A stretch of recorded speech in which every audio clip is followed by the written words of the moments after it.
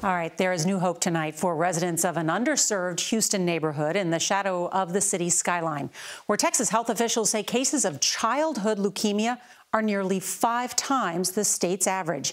As CBS's Janet Shamlian reports, the EPA chief is promising help. The anguish is deep for Latanya Payne, whose 13 year old Corinthian died from leukemia in July. He just wanted to make sure that the doctors did everything they could to try to save his life. Till the very last breath, he fought.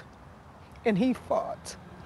Payne lives in Houston's Fifth Ward, a low income, predominantly African American community near downtown. The neighborhood is near a Union Pacific rail yard contaminated with the chemical creosote, a likely human carcinogen. There's no confirmed link yet, but you're convinced of it? Yes. I truly believe that the Union Pacific Railroad is responsible for Corinthians leukemia. Payne is among more than a thousand who have filed suits against the freight rail company for illnesses they say came from their properties and groundwater contaminated by creosote.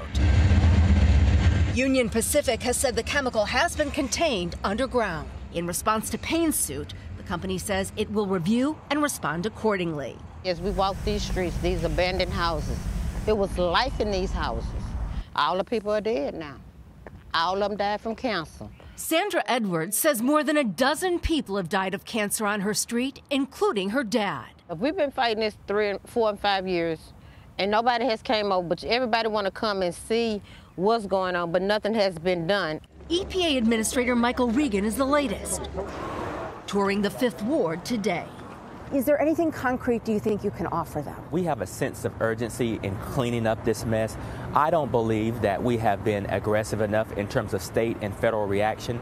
The people who live near the site agree with that, including Latanya Payne, who hopes something will be gained from this meeting as her heart aches for what's lost.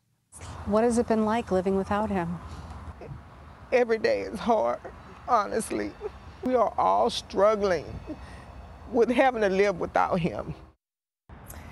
The chemical hasn't been used for decades here, but the EPA says it's believed to have seeped into the soil, forming an underground plume, impacting as many as 100 neighborhood homes. Norah? Such an important story, Janet Shamlian. Thank you.